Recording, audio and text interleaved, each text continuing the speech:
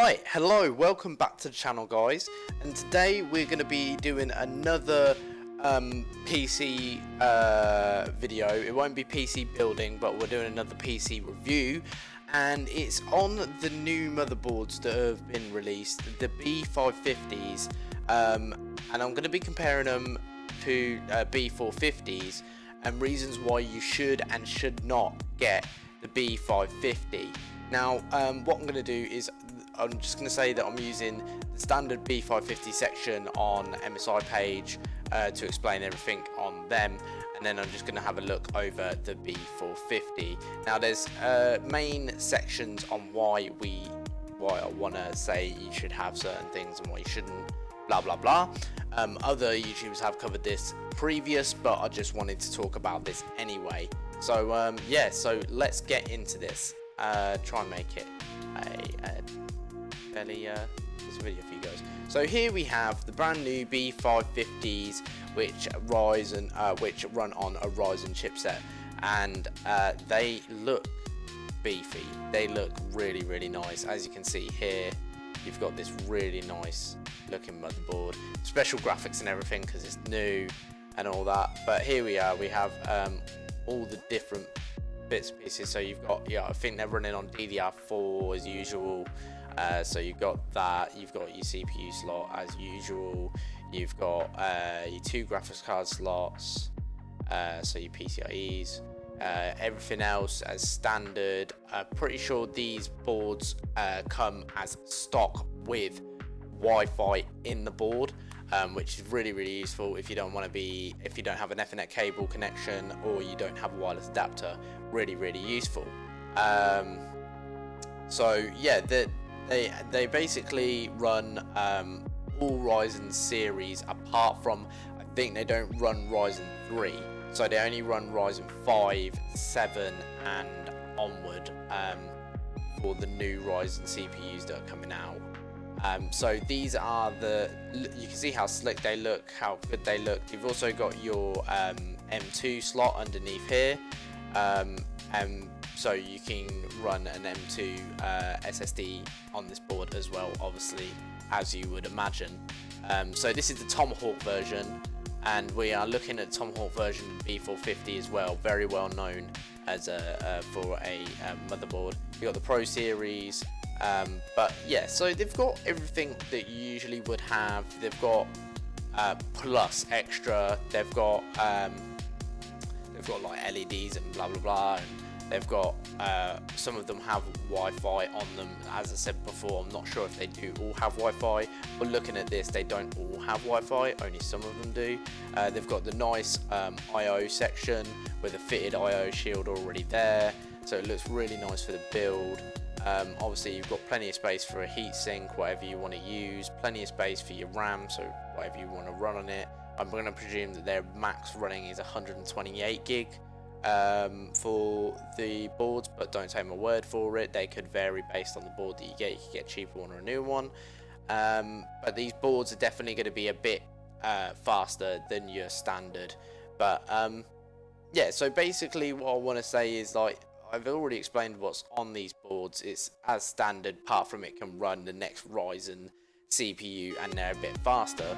So you can see all these bits and pieces that you have and they look very slick and they look very uh, neat and you can tell that they're new and their style is very slick and it looks nice. You've got the name of the board on most of boards which looks really cool. I like the details, very nice. Now the Pro Series I'm going to presume is going to be the cheaper version of the motherboards. Then you'll go into uh, your uh, Tomahawks and mortar boards, and then you've got the carbon uh, gaming and the edge um, boards, which are going to be the higher class ones. So we've got different things. We've got so it says it's got enhanced thermals on here.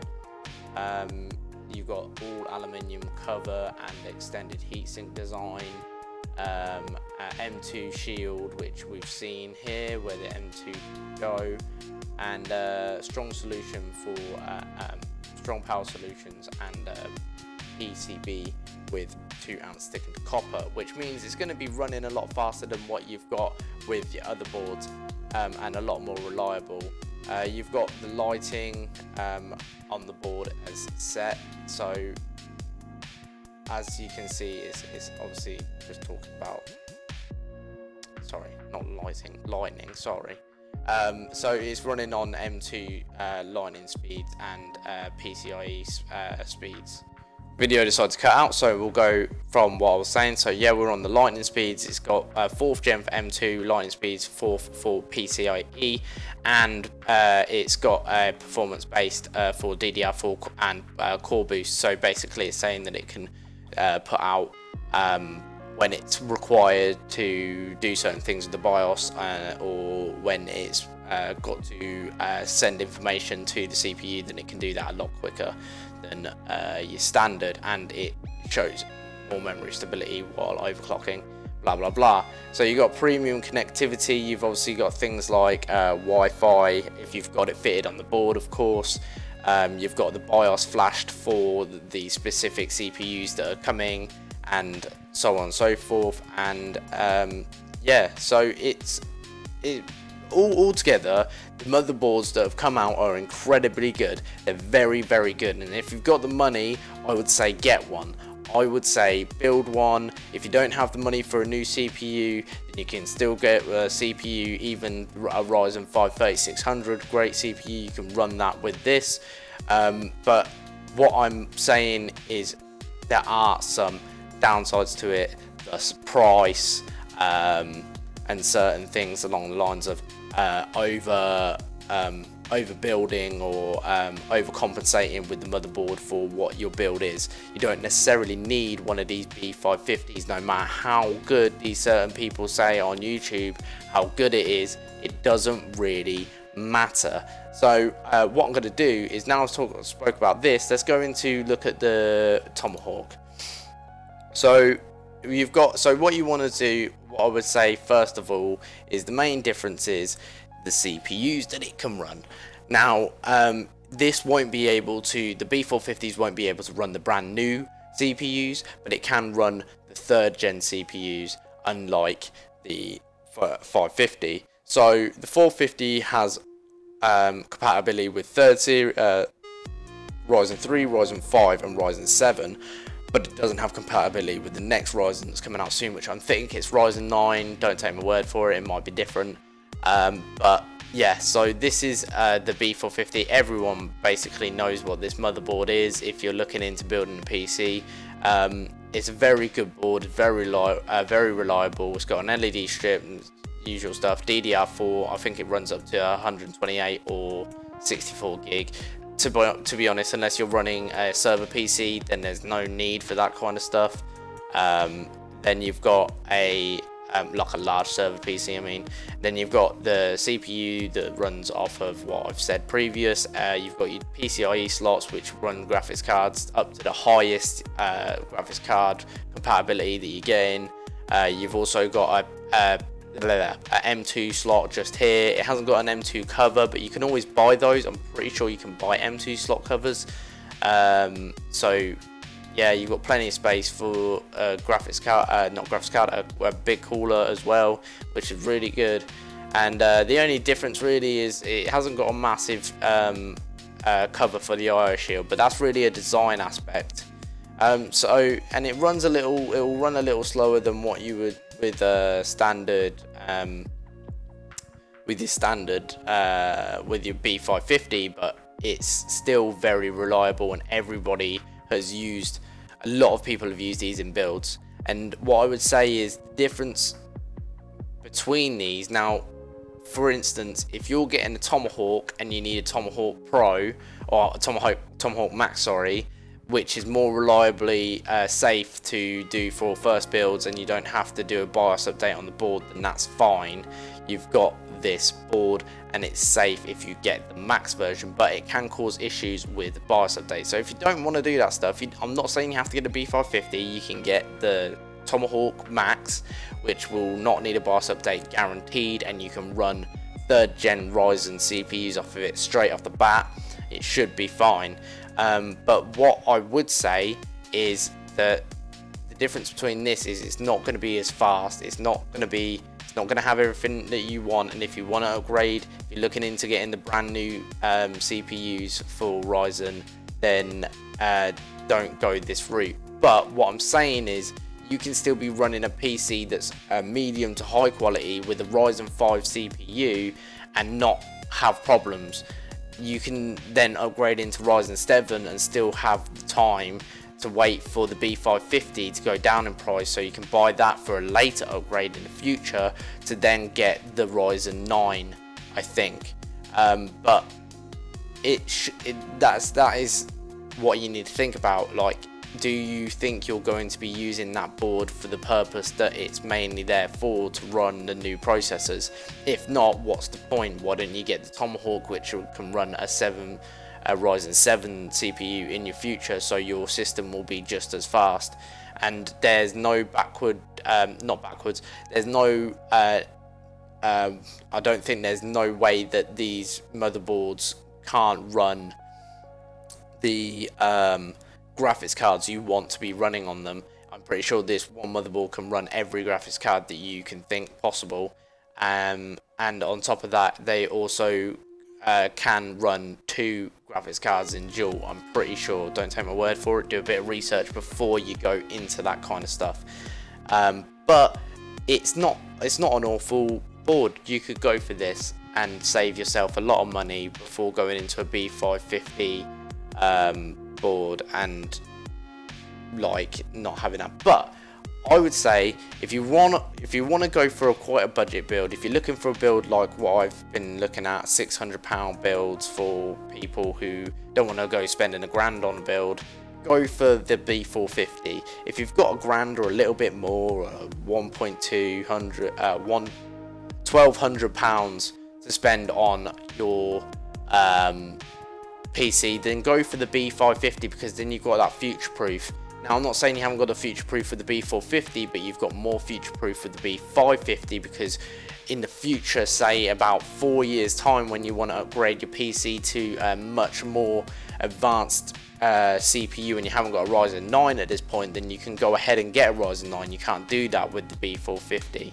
So it's just a uh, in hand in hand thing. So if you want to get something that's um, going to be uh, budget to you, and uh, help you purchase different things. Like a better graphics card go for the B450 if you've got the uh, the comfort room and the uh, the budget then definitely go for the B550 now like I said there's three different uh, well many different versions. As you can tell there's four different versions of this one board and then there's three four different versions of this one board and then there's two different versions of this board.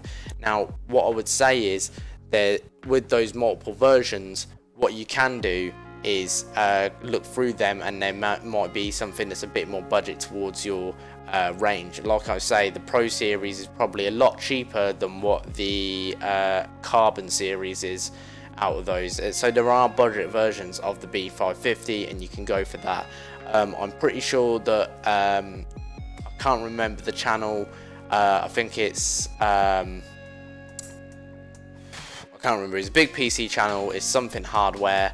Uh, sorry for you guys who are a big fan of that specific channel, but he has recently done a build with a B550 board that was under like $800 or something along those lines. So that's a really budget build that uses a B550. So you can go and have a look at his build um, and how he does it and what he does but what I'm saying is this is this is the basis this is what you can get and these are the boards that you can get you and they can be a lot more reliable and a lot more future proof and a lot more slick and a better looking motherboard um, for a couple more uh, a bit more money and be a bit more future proof for you. But if you are running a budget go for the B450 it's not a massive difference. The only issue is that you're not going to be able to run the next Ryzen series that's coming out and that CPU alone is going to be expensive. So I'm saying if you're running a budget build and you're running for something that's going to be about uh, like uh, about a thousand pounds and you're not looking into upgrading to the next Ryzen CPU then what's the point? If you haven't got the money to buy the next Ryzen CPU, what is the point unless you're going to think about getting that in the future at some point? Um, that's basically what I'm saying because these CPUs aren't going to be cheap. Brand new CPUs, when they're released out of the box, off the shelf, they're going to be about 500 pounds. These new CPUs, or even more, depending on what the CPU is. I'm not too sure. Don't take my word for it. I don't know what the new brand new CPUs are going to cost but they're going to be expensive. Everyone who's looked into building PCs or has been interested in PCs or has built a PC knows that CPUs are one of the most expensive components in the PC. So just have a look at the B450. You don't have to go for the most brand new CPU. Just look at what you can get. And if you can get the B450, that's good. If you can get the B550, there we go. That suits your that suits your build. But Anyway, I am just saying that this was going to be a short video just talking about the B550 and its new release and what it has and the B450. So thanks for watching guys. Uh, if you didn't like the video, dislike. If you liked the video, like. Uh, comment down below whatever you like and please, please, please, please subscribe because I know the people who watch these tech videos are more people who um, don't watch my videos. Uh, so uh, and they're not subscribed. So please subscribe or watch my videos and check out my content. And then like see if you want to subscribe after that because I do gaming videos tech videos and all kinds of stuff. Um, and also if there's any other series that you guys want uh, me to do anything like uh, playing a Minecraft series playing um, some um, like recording of uh, highlight footage of League or uh, playing uh, Warzone or anything like that, if you guys want me to play any games along those lines, just uh, drop me a comment down below and I will have a think about it and see if I can fit that into my schedule of recording. So yeah, thanks for watching guys and uh, yeah, don't forget to subscribe. So I'll see you in the next one. Thanks. Bye.